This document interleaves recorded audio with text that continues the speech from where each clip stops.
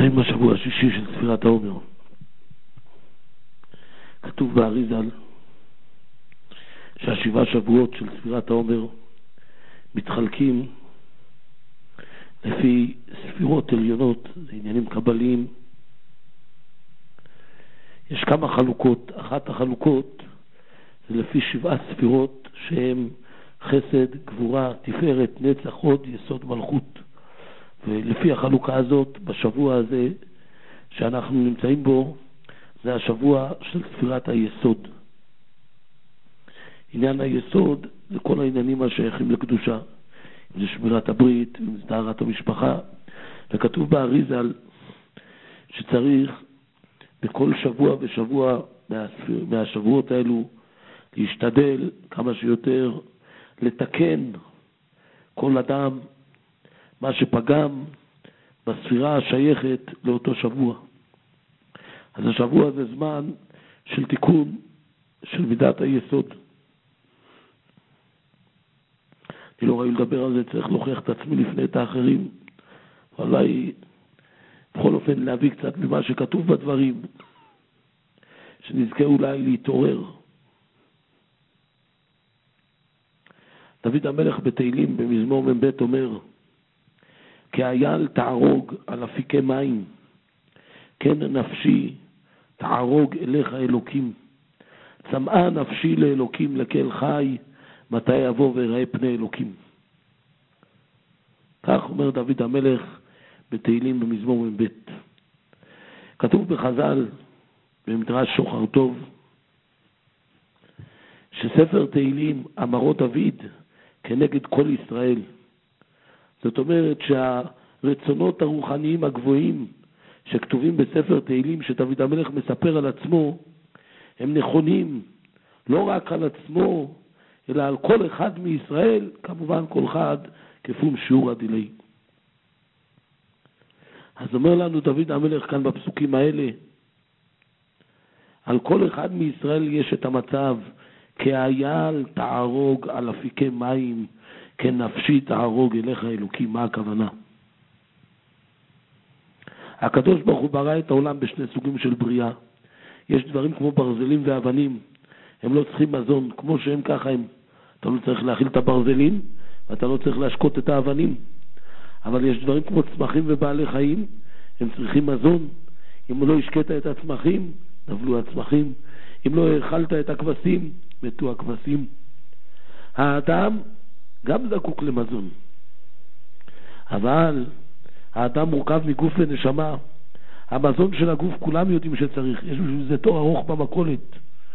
אבל גם הנשמה זקוקה למזון. והנשמה היא רוחנית, היא לא גשמית. אומר רבי שחיים לוצטוס אצל הרמח"ל בספר אדיר במרום, בשבת הקרובה, כ"ו באייר, זה כמדומני היורצייט שלו, יום הפטירה של הרמח"ל. הוא אומר, הנשמה של כל יהודי, ללא יוצא מן הכלל, זה אור רוחני שבא מהשם יתברך, אור אלוקי קדוש מאוד שנמשך מהשם יתברך. אומר האריזל שהנשמה של כל יהודי יותר קדושה אפילו ממלאכים. נתאר לעצמנו אם אחד היה אומר לנו, מחר בצהריים מפגישים אתכם עם מלאך. לא היינו נרדמים כל הלילה מהתרגשות. אומר האריזה לנשמה שבכל מישהו מתוכנו יותר קדושה אפילו ממלאכים. והנשמה הזאת היא רוחנית, היא אור אלוקי שבא מהשם יתברך, ולכן גם המזון שלה הוא רוחני, היא לא יכולה מאוכל ושתייה גשמיים להיות ניזונת. אלא מה המזון של הנשמה? אורות רוחניים שבאים מהשם יתברך. כמו שהנשמה עצמה זה אור רוחני שבא מהשם יתברך, המזון של הנשמה זה תוספת של עוד אור רוחני שבא מהשם יתברך. וזה בכלל כוונת הפסוק בפרשת ואתחנן, ואתם הדבקים בהשם אלוקיכם חיים כולכם היום. אומרת לנו התורה על ידי הדבקות בהשם יתברך, הנשמה מקבלת חיות, ואתם הדבקים בהשם אלוקיכם חיים. אם יאמר אדם נכון, אבל לא עליי, אני רחוק, אומרת התורה, כולכם. אם יאמר אדם לא עכשיו, אולי כשאני אהיה זקן, נהיה יותר מזוכח, אומרת התורה היום. ואתם הדבקים בהשם אלוקיכם חיים, על ידי הדבקות מקבל היהודי חיות, זה נכון על כולכם והיום. זה אומר דוד המלך עליו השלום. כי האייל תער, מוסיף על זה דוד המלך עליו השלום. כי האייל תערוג על אפיקי מים. האייל זה בעל חי. הוא מסתובב במדבר בהשמש צמא למים. מה הוא עושה? מחפש מעיין של מים זכים להרוות את הצמאון שלו. מי לימד אותו את זה? הוא לא עבר על זה לא קורסים ולא שיעורים. זה הטבע הטבעי שלו, כשהוא צמא הוא מוכרח מים. אם תלך ותציע לו במקום המים דברים אחרים, אין עם מי לדבר. לך תציע לו דולרים, לך תציע לו בניינים, יהלומים, פנינים, צ'קים, שום דבר לא. הוא רוצה מים לשתות. אומר דוד המלך עליו השלום, כי האייל תערוג על אפיקי מים, כן נפשי תערוג אליך אלוקים. ככה נשמה צמאה אל האלוקים. הנשמה היא אור רוחני והיא זקוקה למזון, שגם המזון זה אותו רוחני. הנשמה מוכרחה את זה. אם נותנים את זה לנשמה, אז הנשמה מקבלת חיות ועוצמה, ואם לא נותנים את זה לנשמה, הנשמה במצוקה וריקנות. ואיך נותנים את זה לנשמה? על ידי לימוד התורה, על ידי תפילה להשם, על ידי קיום המצוות, על ידי זהירות מעבירות, על ידי עזרה לזולת, כל ענייני עבודת השם, הם נותנים את החיות הזאת אל הנשמה. אבל כדי שיהיה את האורות האלו לנשמה, לא מספיק לתת, להביא את האורות האלו לנשמה, אלא צריך לשמור את הנשמה מהדברים שמפריעים לאורות האלו להיכנס. ומה מפריע לאורות האלו להיכנס?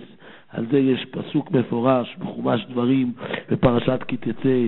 כתוב שמה בפרק כ"ג פסוק ט"ו, התורה מדברת על המלחמה, כשיוצאים למלחמה, כתוב שם בפסוק כי השם אלוקיך מתהלך בקרב מחניך.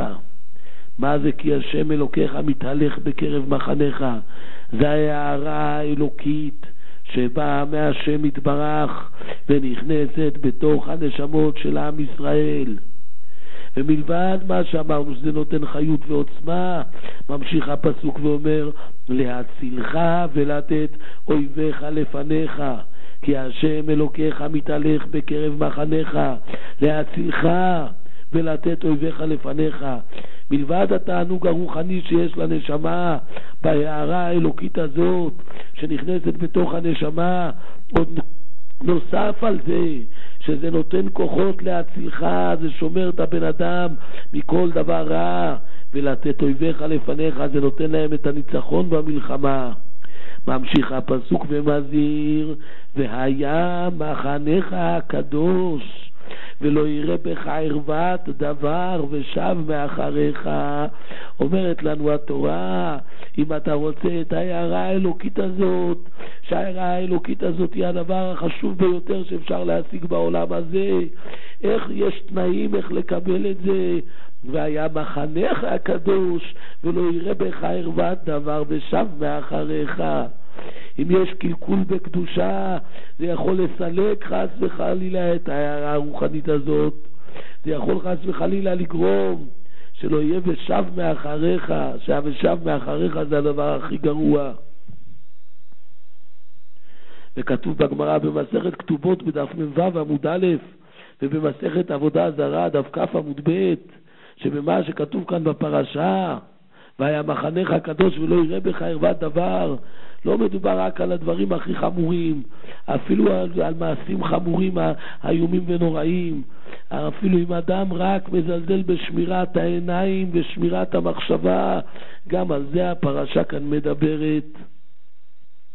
אז אם אנחנו רוצים את מה שכולנו מרגישים וכולנו מחפשים, כי האייל תערוג על אפיקי מים, כנפשי תערוג אליך אלוקים, צמאה נפשי לאלוקים לקל חי, מתי יבוא ואראה פני אלוקים.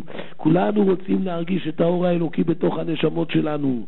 כולנו, כולנו רוצים את הסיוע והעזרה שהאור האלוקי הזה נותן לנו בכל החיים. אז אנחנו צריכים לדעת שהדבר שהכי מביא את האורות האלוקיים האלו לתוכנו זה שמירת הקדושה. אין דבר שמביא את האורות האלוקיים לתוך הנשמה יותר מאשר שמירת הקדושה, ואין דבר שמסלק את זה יותר מאשר הזלזול בקדושה. כתוב במגילת איכה ירמיהו הנביא, כונן את זה בשעת החורבן של בית ראשון, שאז נחרב בית המקדש, ובני ישראל גלו מארץ ישראל לארץ בבל, ואז ירמיהו הנביא אמר, כונן את מגילת איכה ברוח הקודש. אז כתוב שמה, עיני עוללה לנפשי מכל בנות עירי. אומר החפץ חיים בדרך דרוש על הפסוק הזה, שכיוון ירמיהו הנביא לומר, שהגלות הייתה בגלל עבירות. והעבירות, אבל עדיין היה, וה, והעבירות נעשים על ידי הגוף. יש בגוף רמ"ח איברים ויש עשה גידים. אז אומר ירמיהו הנביא שצריך לדעת איזה חלק בגוף הוא היה הגורם המרכזי לגלות ולחורבן. אומר, אומר ירמיהו הנביא איני עוללה לנפשי מכל בנות תראי, בנות תראי אומר החפץ חיים, הכוונה בפסוק כאן לכל חלקי הגוף, בלשון משל הוא קורא לזה כך, בנות תראי. הוא אומר, איני עוללה לנפשי מכל בנות תראי. מי גרם? את מי היה הגורם הכי גרוע לחורבן? מי היה הגורם הכי גרוע לגלות? זה העיניים.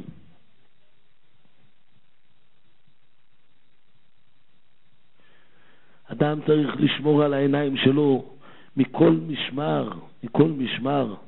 יש חז"ל נורא, מובא ב, כתוב במדרש אבקיר, זה מובא בילקוט שמעוני בפרשת ויחי, ומשם זה מובא בספר ראשית חוכמה, ובבן איש חי בפרשת ואתחנן בשנה ראשונה, ובספר טהרת הקודש, ובעוד ספרים.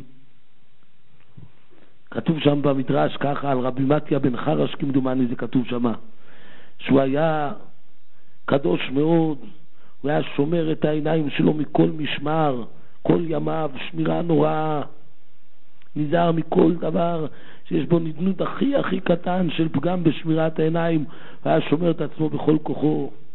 פעם אחת הוא היה יושב ולומד, והשטן החליט, הוא לא יכול לוותר שיהיה כזה, שלא רצה לוותר שיהיה כזה צדיק גדול. אז הוא ניסה להכשיל אותו בכל מיני, ממש במאמצים גדולים להכשיל אותו בפגם הראייה, לא יותר מזה. אז רבי מתיה בן חרש קרא לתלמיד שלו וביקש לו שיביא מסמרים מותחים מאש, מביא את המסמרים והוא שם בעיניים והוא עיוור את עצמו. כמובן שאני מדגיש, אסור לנו לעשות דברים כאלו אנחנו לא בדרגות שמותר לנו לעשות כאלו דברים, הם היו תנאים, ידעו ברוח הקודש, כל אחד מה התפקיד שלו בעולם וכולי, אבל אנחנו, מוסר השכל, יכולים ללמוד מזה עד כמה חומרת הדברים, עד כמה חומרת הדברים. וכתוב שם שאחרי זה השם יתברך שלח את רפאל המלאך לרפות אותו. רבי מתיה בן חרש לא הסכים, הוא אמר הוא לא רוצה להתרפות, אולי שוב פעם יהיה מכשול. עד שהשם ברח הבטיח לו שיותר מזה לא יהיה רשות לשטן לנסות אותו. נורא ואיום, זה כתוב בר"ן במסכת קידושין, בערך בדף ל"א שם במסכת קידושין בדפי הגמרא, אז הר"ן על הריף שם מביא, ידוע בגמרא בהרבה מקומות שרב יוסף ורב ששת היו סומים, כך בכמה מקומות בגמרא זה מבואר על רב יוסף ועל רב ששת. אז כתוב בר"ן בשם תשובות הגאונים, מאיפה הם נהיו עיוורים? הם לא נולדו כך, אלא רב, האמורה שמוזכר בגמרא, מוזכר המון, רב היה ביחד עם שמואל, היו לומדים, היה ביניהם גם הרבה מחלוקות בגמרא בהלכות, מה מותר, מה אסור. אז ה, יש בדרך כלל הכלל שבהלכות של, של איסור והיתר, אז יש ביניהם מחלוקת הלכה כרב, בהלכות של ממונותים יש ביניהם מחלוקת הלכה כשמואל, כמו שכתוב הלכתה כרב באיסורי וכשמואל בדיני. על כל פנים, אז רב האמורה היה צדיק מלבד הגדלות שלו בתורה, כמו כל האמוראים, היה גם צדיק נורא מאוד מאוד. אז היה לו הרבה הנהגות שהוא שמר עליהן בחיים חזק מאוד. וכשהיה, בעיקר הוא היה מיוחד באיזה עשרה הנהגות. כשהוא נפטר, אז התלמידים שלו התאספו ואמרו, אין ביניהם אחד שיוכל לקחת את כל עשרה ההנהגות האלו כמו רב. אז כל אחד ייקח חלק מההנהגות של רב, כך שביחד מכולם להשלים את מה שנחסר בעולם, את ההנהגות האלו. אחת ההנהגות של רב היה שהוא אף פעם לא היה מסתכל מחוץ לדלת אמותיו. לא היה מסתכל מחוץ לדלת אמות, זה קשה מאוד. אם אחד ינסה יום אחד לעשות את זה, אפשר כבר, הראש יכול להתעצבן מזה. דלת אמות זה לא כל כך הרבה, זה מקום קטן, לא להסתכל מחוץ לדלת אמות זה מאוד קשה. כך רב היה מקפיד כל ימיו. אז רב יוסף ורב ששת לקחו את ההנהגה הזאת. הם ניסו והם ראו שהם לא יכולים להחזיק עם זה מעמד, אי אפשר. אבל לעבור על ההנהגה הזאת הם גם לא רצו. אז הם הלכו ושימו את עיניהם. אז כמו שאמרתי קודם, חלילה בימינו אסור לאף אדם לעשות כזה דבר. הם ידעו ברוח קודשם מה תפקידם בעולם וכולי וכולי. אבל לראות מזה עד היכן הדברים מגיעים. כתוב על הגר"א מווילנה, נפטר לפני בערך 210 שנים, כותב עליו התלמיד שלו רב חיים וולוז'ין זצ"ל. יש הקדמה של רב חיים וולוז'ין זצ"ל לביאור הגר"א לספרא דצניותא, הוא כותב שם בהקדמה את תולדות חייו, לא את כל זה, אבל כמה וכמה עובדות מתולדות חייו של הגר"א מווילנה. גם בני הגר"א בהקדמות לכמה מהספרים כותבים מתולדות חייו, אז הם מספרים עליו שהוא מגיל מאוד צעיר, כמדומן מגיל בר מצווה בערך, אולי פחות מזה, יותר צעיר מזה אפילו, הוא גם כן לא הסתכל מחוץ לדלת אמותיו. היה הנהגות למעלה מהמושגים שלנו. אנחנו לא יכולים כאלו דברים, אבל בכל אופן אנחנו צריכים דבר ראשון להיזהר, לא ללכת למקומות לא טובים. לא ללכת למקומות לא טובים. הגמרא אומרת במסכת קידושין, דף ל עמוד ב', במסכת סוכה, דף נ"ב עמוד ב', טענת ורבי ישמעאל, בני אם פגע בך מנוול זה, מושכהו לבית המדרש. אם אבן הוא נימוח ואם ברזל הוא מתפוצץ. אם אבן הוא נימוח שנאמר אבנים שחקו מים, ואין מים אלא תורה שנאמר אוי כל צמא ילכו למים. ואם ברזל הוא מתפוצץ שנאמר הלא כה דברי כאש נאום השם וכפטיש יפוצץ סלע. אז מה אומרת לנו הגמרא כאן עצה? אם פגע יצר הרע בבן אדם, ילך לבית מדרש, ילמד תורה, והגמרא מביאה על זה פסוקים. אבל יש כאן שאלה, הפסוקים שהגמרא מביאה על מה מדברים? על לימוד תורה. אין מים אלא התורה אוי כל צמא לכו למים. והלא דברי, זה התורה, דבר השם, הלא דברי כאש נאום השם, כפטיש יפוצץ סלע. אז למה הגמרא אומרת אם פגע בך מנוול זה מושכהו לפתע מדרש? תגידו, מושכהו לתורה. אז אמר על זה, כמדומני רב שלום זן נויבך, זיכרונו לברכה, אמר, הגמרא כאן מרמזת לנו, דבר ראשון השאלה איפה אתה נמצא, אל תסתובב ברחובות, אל תלך למקומות לא טובים, לך לבתי כנסיות, לבתי מדרשות, למקומות של לימוד תורה, למקומות של עסק התפילה, לשם תלך, לא למקומות לא טובים. חוץ מזה, גם תלמד תורה. אדם צריך לשמור את עצמו מכל משמר. לפעמים בן אדם אומר, לי זה לא מזיק, אני לא מושפע מזה. אומר הגר"א, בביאור הגר"א, בספר הזוהר, בפרשת פקודי, דבר נורא. אבל לפני שמביאים את דברי הגר"א האלו, צריך להביא עוד הגר"א.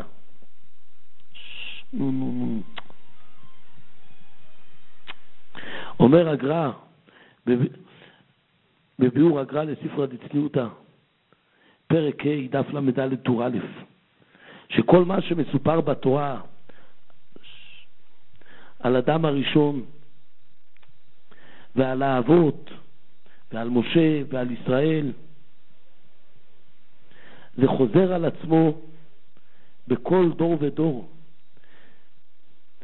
ועל כל יהודי ויהודי, לא באותה צורה חיצונית, לא כל אחד נמצא על יד ים סוף, אבל בתוכן הפנימי של העניין זה חוזר בכל דור ודור. כמובן שמה שכתוב על עבירות שנכשלו, לא הכוונה שאדם מוכרח להיכשל, אבל שיש את הניסיון בזה. כשאנחנו שומעים כאלו דברים של הגר"א, אז אחד הדברים שאנחנו צריכים דבר ראשון לברר, מה הדבר הכי גרוע שקרה, שאנחנו קוראים בחמישה חומשי תורה, כדי לדעת להיזהר מזה. אז אחד, הדבר אולי הכי גרוע, או ודאי מהכי גרועים, זה החטא של עץ הדת. הרי נורא ואיום מה שקרה מחטא עץ הדת. אלמלא חטא עץ הדת, אדם הראשון היה חי לעולם, לא היה נקנס מיתה לעולם, ובצאצאיו היו חיים לעולם. כל העניין של גזירת המיתה, זה היה, זה היה, הכל היה על, ה... על, על, על חטא עץ הדעת, כמו שכתוב בתורה בפרשת בראשית, פרק ב', פסוק י"ז, שהשם הזהיר אותו, ומעץ הדעת טוב ורע לא תאכל ממנו, כי ביום אכולך ממנו מות תמות. כל המיטה נכנס לעולם בגלל, כל המיטה נכנס לעולם בגלל חטא עץ הדעת, ולא רק המיטה, גם שהאדם גורש מגן עדן, כמו שכתוב בתורה, גם כן בפרשת בראשית, שהשם יתברך בסוף פרק, ג', בפסוק כ"ב והלאה, ויאמר השם אלוקים אין האדם היה כאחד ממנו לדעת טוב ורע ואתה ונשלח ידו ולקח גם מעץ החיים ואכל וחי לעולם. וישלחהו השם אלוקים מגן עדן לעבוד את האדמה אשר לוקח משם.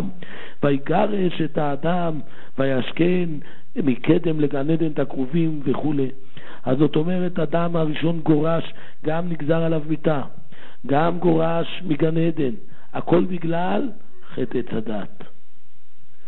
וה, וה, וה, ועוד כמה קללות שכתוב בתורה, שהקדוש ברוך הוא אמר לו, אמר לו, בזיעת אפיך תאכל לחם, ועוד כמה וכמה דברים. והקללות שנתקלל, שגם אה, חווה קללות, דברים נוראים, כל העניין דברים נוראים. הכל על ידי חטא עץ הדת. כל פעם, כל, כל מישהו מאיתנו נזדמן לו להיות איזה פעמים בלוויה. למה שורש הפטירה של אותו בן אדם שנפטר? בגלל החטא של עץ הדת. מיליארדי אנשים נפטרו בעולם מאז ועד היום, הכל השורש זה חטא עץ הדת. כל העולם התהפך על ידי החטא של עץ הדת. כל העולם השתנה, ירד בדרגות שלו. יש בכתבי הארי שחלקים חשובים מאוד מהנשמה של האדם הראשון הסתלקו ממנו עוד בחייו. יש דבר שנקרא זיהר העילת האדם הראשון, חלקים גבוהים מאוד של הנשמה שלו. הוא הפסיד אותם, הם הלכו ממנו בגלל החטא הזה. ועוד כל מיני תוצאות נוראיות שמבוארות בכתבי האריזה על מה קרה לאדם הראשון ואיזה נפילה נהיה בעולמות. הכל על ידי חטא עץ הדת. אז אנחנו צריכים לדעת להיזהר אם הגר"א אומר שהסיפור חוזר על עצמו, הניסיון של עץ הדעת עובר על כל בן אדם בחיים. אז אנחנו צריכים לדעת מה זה. מה זה עץ הדעת שאנחנו כל כך צריכים להיזהר ממנו. אומר הגר"א, בביאור הגר"א, בספר הזוהר בפרשת פקודי, דף ט"ז טור ד' בעץ הדעת, בפרי של עץ הדעת, שהאדם הראשון אכל היה כוח רוחני, אני אומר דבריו להם קצת תוספת ביאור על פי דברי הרמח"ל. בפרי שאכל אדם הראשון מעץ הדת היה כוח רוחני לגרום לבן אדם שהמחשבה שלו תהיה לא רק בטוב, אלא גם ברע. אני לא יודע לאיזה רע הכוונה, אם הכוונה לרע של תאוות כמו, כמו בדורות האחרונים של מלחמת התאוות, או שהכוונה לאיזה רע רוחני של כוחות הטומאה או מה, אבל על כל פנים זה משהו במחשבה. ואומר, זה כמעט פסוק מפורש באמת, כמו שכתוב בתורה, שהקדוש ברוך הוא שם ויצמח השם אלוקים מן האדמה כל עץ נחמד למראה וטוב למאכל ועץ החיים בתוך הגן, ועץ הדעת טוב ורע. אומרת התורה בפירוש, מה ההגדרה של העץ הזה? שהעץ הזה גורם לדעת את הטוב ואת הרע, גם כשהשם ברח ציווה את אדם הראשון. ומעץ הדעת טוב ורע לא תאכל ממנו. העץ הזה זה עץ שגורם לדעת את הטוב והרע. אומר הגר"א, כיוון שהאדם הראשון אכל מהפרי הזה, והמחשבה שלו ירדה לדעת גם מהרע, זה גרם את כל מה שקראנו, הדברים הנוראים שניזוק הבן אדם. זה סוד העניין של עץ הדעת טוב ורע. זאת אומרת שלפי הגר"א, הניסיון של הבן אדם לשמור, לא להכיר את הרע, לא לדעת את הרע, זה ניסיון המרכזי של החיים. כמה שאדם יותר שומר את עצמו, לא להכיר את הדברים בכלל, לא לדעת את הדברים בכלל. זה מה שמביא את הבן אדם למדרגות הכי גבוהות. להשאיר אותו בבחינה שמתקשרת לבחינת הגן עדן, ולא להיות מגורש מהבחינה הזאת. אז כמה אדם צריך לשמור את מחשבתו, וכמה שגוי אותו הדעה שבני אדם אומרים, אני לא רוצה להיכשל, אני רק רוצה להכיר את הרע.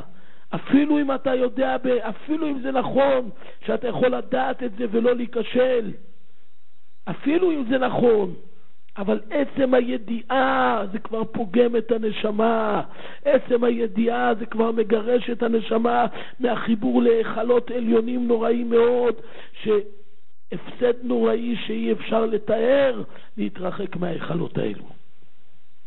אז התפקיד שלנו זה לחבר את דעתנו ומחשבתנו רק להשם יתברך ולתורה הקדושה. בכל כוחנו, בכל נפשנו להתמסר, לחבר את מחשבתנו להשם יתברך ולתורה הקדושה. ואיך עושים את זה? אז דבר ראשון, מה שאמרנו קודם, אדם צריך פשוט לשמור את עצמו. אם יש מקומות של פריצות, לא ללכת לשם. צריך לדעת, מקומות של פריצות זה לא רק איזה כיכר שמכריזים עליה שזה כיכר לפריצות. יש כל מיני הזדמנויות בחיים שאדם צריך לשמור את עצמו מהם. כל מיני מצבים מזדמנים. אז קוראים לבן אדם, מזמינים אותו לבוא לאיזה אירוע, לאיזה שמחה, אומרים לו זה עם הפרדה, לא אם זה בלי הפרדה, אז בכלל מה יש לדבר? אפילו אומרים לו אם זה הפרדה וזה, אבל באמת ההפרדה היא כמו שצריך, ובכניסה לאולם זה כמו שצריך, ובחצר, וכולי וכולי. אדם צריך לדעת לשמור את עצמו. אם קראו לו לבוא, זה לא אומר שהוא צריך לבוא. אם זה לא טוב לנשמה שלו, אדם צריך לדעת את מה שלא טוב לנשמה לא עושים. לא שורפים את הנשמה בשביל שאיזה מישהו הזמין אותו, או בשביל לאכול שם איזה ארוחת ערב טובה. הרב, יחזקאל אברמסקי, זיכרונו לברכה, היה מגדולי ישראל, חיבר סדרת ספרים גדולה שנקראת חזון יחזקאל. אז הוא אמר, הוא היה מלמד בישיבה, הוא אמר פעם לבחורים בישיבה, פה בארץ ישראל, הוא לימד באיזו ישיבה, אז הוא אמר לבחורים, אני רואה היום כל בחור הולך לכל החתונות של כל החברים. אומר, הוא בחיים שהוא בא בזמן בחרותו, לשתי חתונות הוא הלך. אחת של עצמו ואחת של אחותו, לא יותר. אומר, למה? אומר, כי בסידור אצלו כתוב, זה תלמוד תורה כנגד כולם. אומר, אולי לכם בסידור יש גרסה אחרת, כולם כנגד תלמוד תורה.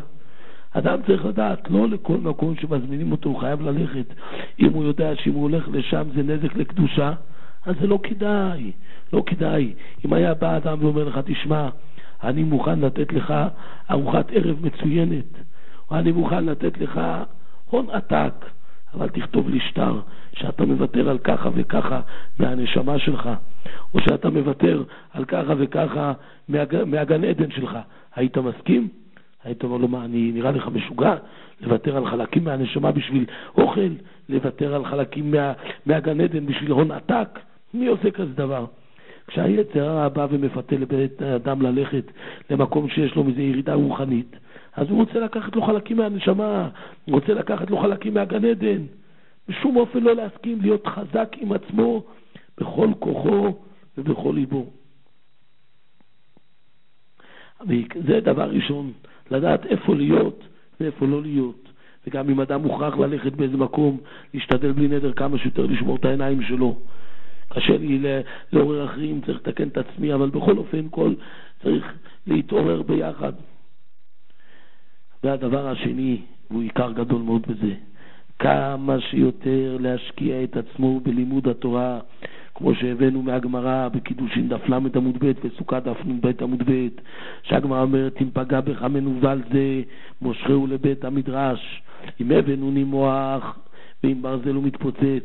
אם אבן הוא היצר הרע נימוח, שנאמר אבנים שחקו מים, ואין מים ואין התורה, שנאמר אוי כל צמא לכול המים. ואם ברזל הוא מתפוצץ, שנאמר, הלא כל דברי כאש נאום השם, וכפטיש יפוצץ סלע. יש כוח גדול מאוד לתורה הקדושה, אבל אנחנו צריכים להתחבר בכל ליבנו ובכל נפשנו לתורה הקדושה. לראות איך להתמסר באמת ללימוד התורה. זה נכון בכל זמן, אבל בפרט עכשיו, שאנחנו, כמו שאמרנו, נמצאים בשבוע של מידת היסוד. כל אחד יראה איך לקבל על עצמו עול תורה, לראות איך לנצל כל רגע ללימוד תורה, לנצל כל שעה ללימוד תורה, איך לא רק ללמוד מבחינת ניצול הזמן, כשלום להיות מחובר ללימוד, שמה שיהיה קרוב לליבנו, מה שנפשנו תהיה מחוברת לזה, זה יהיה לימוד התורה הקדושה. כמו שהגמרא אומרת מהפסוק שנאמר, אוי כל צמא לכו למים, כמו שצמא שותה מים, ככה ללמוד את התורה הקדושה. ללמוד את התורה מבחינת הלוא כל דברי כאש נאום השם, וכפטיש יפוצץ סלע, מתוך הרגשה שהתורה זה דבר השם. ככה ללמוד את התורה הקדושה.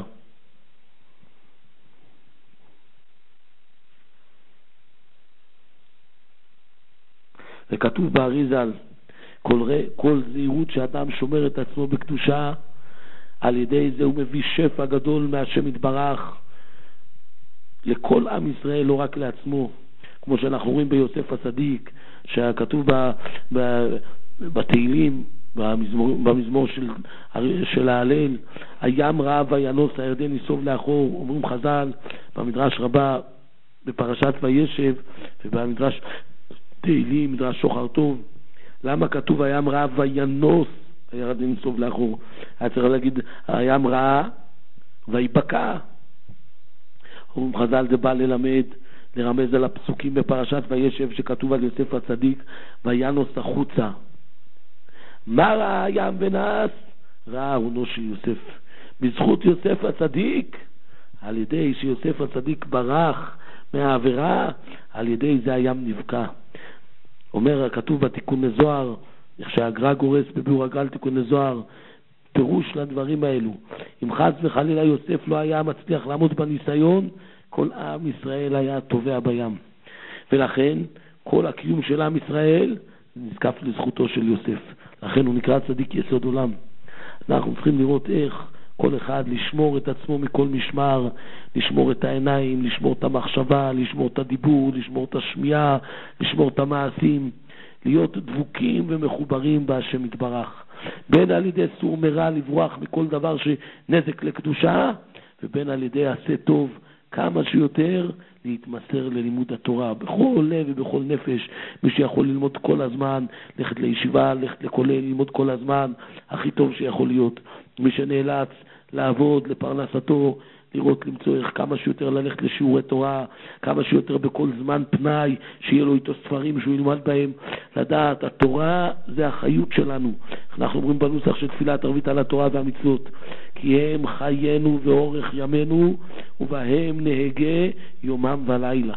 כמה שאדם יותר מרגיש שהתורה זה החיות שלנו, אז על ידי זה יותר הוא מקיים, ובהם נהגה יומם ולילה. זה צריך להיות פסגת השאיפות של כל יהודי. איך אני מתמסר כמה שיותר ללימוד התורה. איך אני מתחבר כמה שיותר ללימוד התורה. כל רגע ורגע שאדם עוסק בתורה, אז באותו שעה הנשמה שלו מתחברת בחיבור נוראי להשם יתברך. תמיד הנשמה של כל יהודי מחוברת להשם יתברך, אבל בשעה של לימוד תורה, החיבור של הנשמה להשם יתברך הוא פי כמה וכמה. כל רגע ורגע שאדם עוסק בתורה, באור רוחני מהשם יתברך ונכנס לנשמה. וכמה שאדם לומד יותר רצוף, יותר זמן רצוף, אז זה יותר חזק, וכמה שאדם לומד יותר בריכוז, יותר בחשק, אז גם כן האורות יותר מתחזקים. זה התפקיד שלנו בעולם הזה, כמה שיותר לעמול בתורה, כמה שיותר להתמסר ללימוד התורה. כמו שאומרת הגמרא במסכת סנדרין, שזה התכלית של בריאת האדם בעולם, לעמול בתורה. להתייגע בכל ליבנו, בכל נפשנו בתורה הקדושה. פרשה של שבוע שעבר קראנו אם,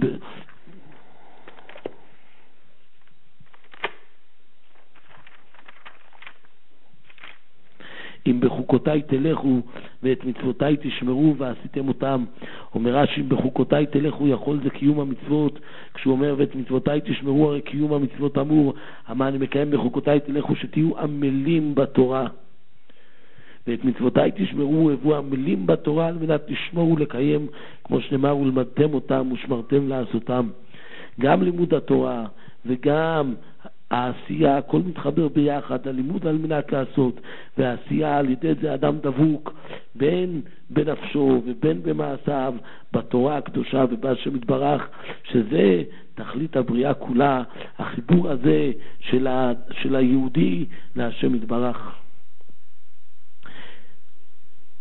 מלבד החלוקה שאמרנו שכל שבוע זה ספירה אחרת, גם אומר האריזל, השבע ימים של השבוע מתחלקים גם כן לפי הספירות. אז יוצא שבשבת הקרובה, ליל שבת ויום שבת, זה נקרא יסוד שביסוד. כתוב בספרים שהיום הזה זה יום מאוד מאוד מסוגל לחזרה בתשובה על עניין הקדושה, ובפרט אמרנו הדרך להגיע לקדושה כמה שיותר על ידי לימוד תורה. יש כאלו שנוהגים בלי נדר ובלי קבלה, בלילה של, אה, בלילה של יסוד שביסוד, להישאר ער כל הלילה לעסוק בתורה. מי שיכול, זה דבר גדול מאוד, אשרי חלקו. זה, השנה יוצא בליל שבת, אפשר להישאר, מי שיכול, אני לא אומר, אבל מי שיכול, מי שרוצה להישאר כל הלילה לעסוק בתורה, אבל העיקר לראות איך שכל השבוע הזה וכל היממה הזאת של יסוד שביסוד בפרט, שיהיה מתוך עלייה רוחנית של שמירת הקדושה, הקדושה ולימוד התורה, ושמזה לקחת כוח וחיזוק לכל השנה ולכל החיים, איך להתמסר כמה שיותר ללימוד התורה ואיך לשמור את עצמנו כמה שיותר בקדושה. והבאנו כבר שהרב שלום שרעבי זצ"ל הרשש בספר נער שלום כותב שהימים של ימי ספירת העומר, אומר ימי הפסח וספירת העומר, הם שורש לכל השנה כולה. ובדרך שאדם הולך בימים האלו, בא מוליכין אותו כל השנה כולה. אז כמובן שאנחנו צריכים לראות איך בימים האלו שנותרו לנו של ספירת העומר, כבר לא נשאר לנו כל כך הרבה, כבר עברנו את הרוב הגדול של ימי ספירת העומר, לראות איך, איך לתקן את הימים האלו, ושמזה יהיה בעזרת השם תיקון לכל השנה ולכל החיים, ובפרט שנזכה על ידי ההכנה בימים האלו לקבל כמה שיותר הערה של התורה הקדושה מבחינת מתן תורה בחג השבועות. אמן כן יהי רצון. השם יעזור, שנזכה כולנו כמה שיותר להתקרב להשם, כמה שיותר להתחבר לתורה הקדושה, השם יעזור, שנזכה כולנו לבניין את המקדש ברבי ימינו אמן, ולביאת משיח צדקנו ורבי ימינו אמן.